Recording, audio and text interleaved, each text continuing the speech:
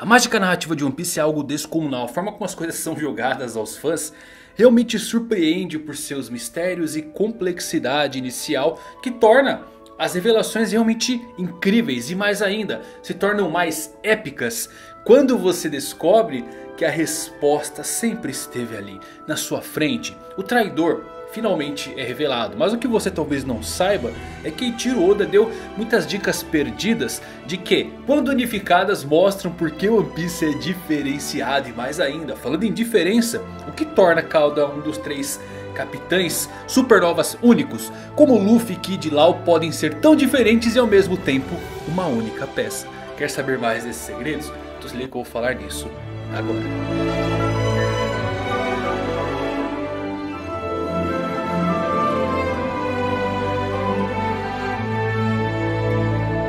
Fala galera, Evandro Fusari aqui mais um vídeo pra vocês, como vocês estão? Espero que todos vocês estejam maravilhosamente bem, o traidor finalmente é revelado Pra quem não havia descoberto ainda, está acompanhando somente pelo anime é realmente algo notável, chocante, mas o que talvez vocês não saibam é que Tiroda deu várias dicas no decorrer da história que já nos mostravam quem era o traidor de fato. E nesse vídeo vou explicar tudo pra vocês e mais ainda o que diferencia e o que une os três capitães supernovas. Que cena fantástica essa no final, fala sério. Assiste até o fim, tá bem legal esse vídeo. Se você é novo no canal aproveita pra se inscrever, inscritão que é mangalático. Dispara aquele like pra dar uma fortalecida e agora com vocês todos os segredos do One Piece 977.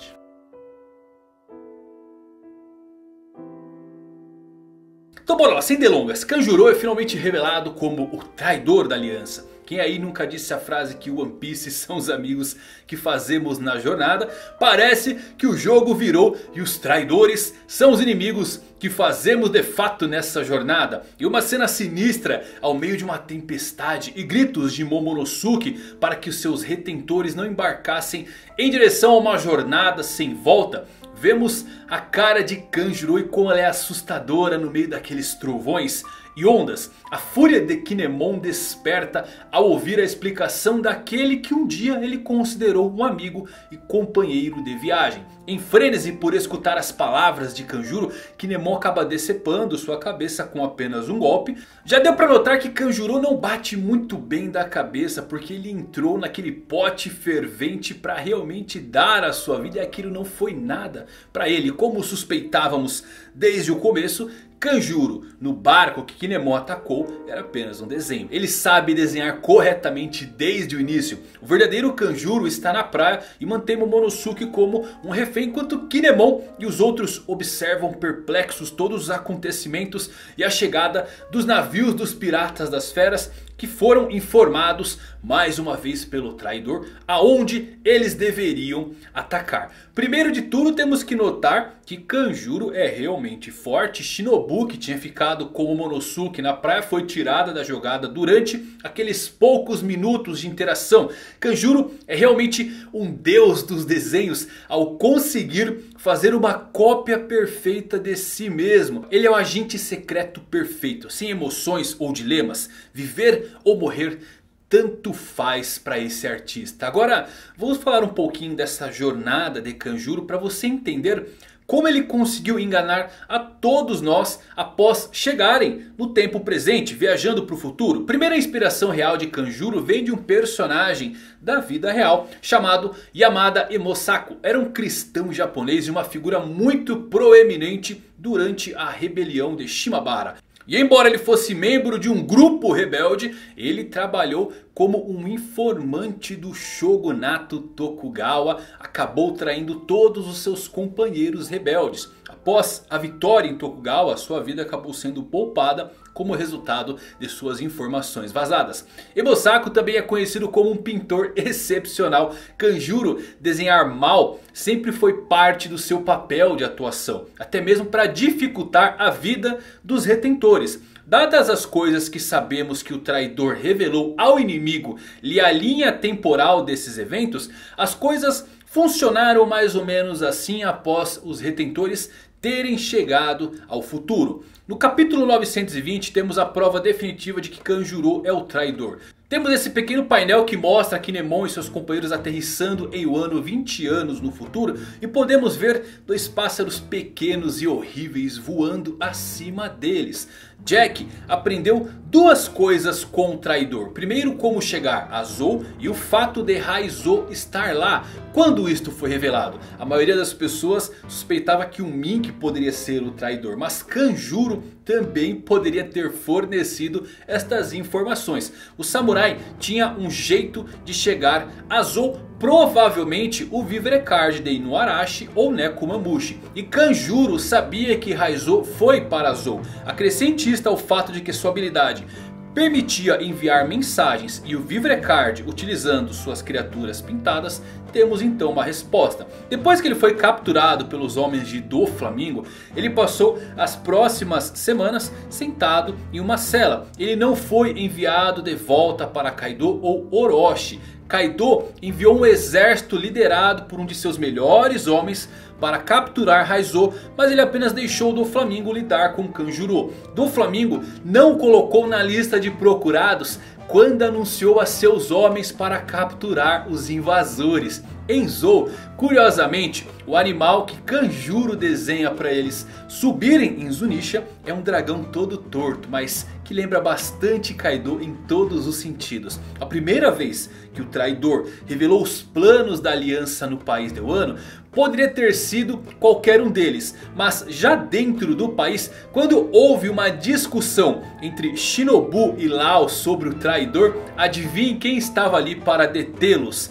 Claro que isso interrompe o conflito entre aliados, mas na verdade Kanjuro não queria que eles chegassem ao fundo daquela discussão sobre existir um traidor. Tivemos entre tantas informações vazadas pelo traidor o fato de Hiyori estar viva e em Ringo. Poucas pessoas privilegiadas sabiam essa informação. Zoro, Kawamatsu, Kinemon, Raizo, Kiko, Inuarashi Momo, Tengoyama, Kanjuro e alguns outros membros dos Chapéus de Palhas. através do processo de eliminação e considerando os pontos que eu já citei, Kanjuro se destaca realmente como o maior suspeito de ter vazado isso. Kanjuro sempre esteve por perto quando discutiram os planos que foram vazados a Orochi. Um exemplo aparece no capítulo 934. Kanjuro está presente com Shinobu, Robin, Nami e Brook quando eles falam de ir para a casa de banho. Já no próximo capítulo a casa de banho é invadida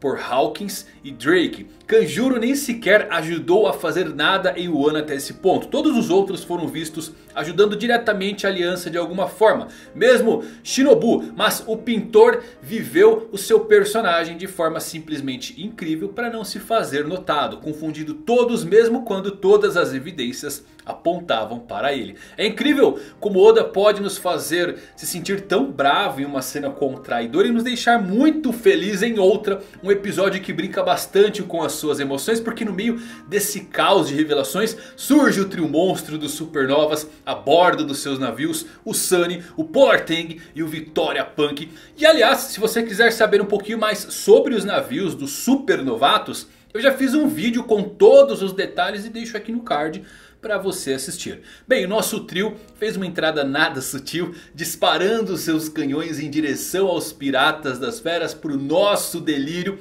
Realmente precisamos de algumas batalhas navais de nível épico acontecendo no mundo de One Piece. Afinal, como o próprio Luffy diz, se você está no mar você deve lutar com um verdadeiro pirata. Afinal, o território deles e que cena magnífica. Eu adoro essa interação de Luffy, Kid e Lau. Aliás, não só o Kid, nosso punk, como o Lau e até mesmo mesmo Barba Negra são todos reflexos diferentes de Luffy. Barba Negra é um polo oposto de Luffy. Já o Kid, ele é o Luffy em que algo deu errado na sua vida. O que eu acho interessante sobre o Kid é que ele não é verdadeiramente mal. Teach é mal, Kid é violento. Percebam como esses personagens são construídos para lidar com sentimentos que não estão presentes em Monkey D. Luffy. A esperteza e o planejamento de Lau, a maldade de Barba Negra, a violência de Kid Luffy é um aventureiro, não faz o perfil de um pirata convencional, muito menos de um capitão, pois sua inocência para com o mundo lhe dá o poder de moldar ele à sua maneira. Shanks, o festeiro,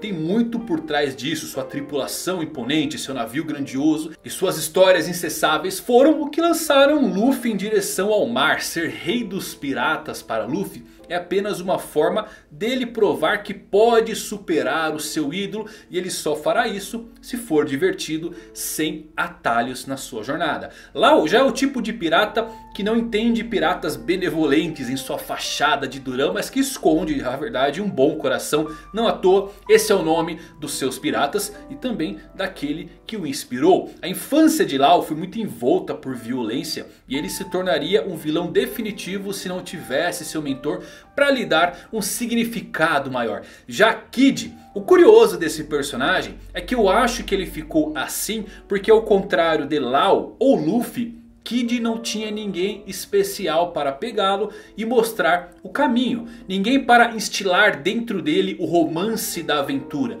Na verdade, aquela pessoa que deveria ser seu Shanks, seu coração, na verdade riu dele. Então todo esse tempo Kid está tentando provar ao mundo que os seus sonhos significam alguma coisa. E ele vai matar qualquer um que rir dele e do seu sonho. Esse pode ser o motivo pelo qual Kid recebeu as habilidades que ele possui na narrativa. A fruta de Kid poderia tornar ele um verdadeiro deus em One Piece. Ele tem a capacidade de ser um magneto. Mas na verdade seu poder é bastante contido pura e simplesmente para casar com a sua construção. E olhando desse ponto narrativo, é simplesmente genial. A exemplo, Kid tira a arma de seus oponentes e as utiliza contra eles. Isto pode ser uma alegoria para fazer os outros engolirem suas próprias palavras, virando-as contra si mesmo. Eu gosto como esses três simplesmente se complementam. E eu posso vê-los definitivamente juntos chegando na última ilha. Ou quem sabe reunidos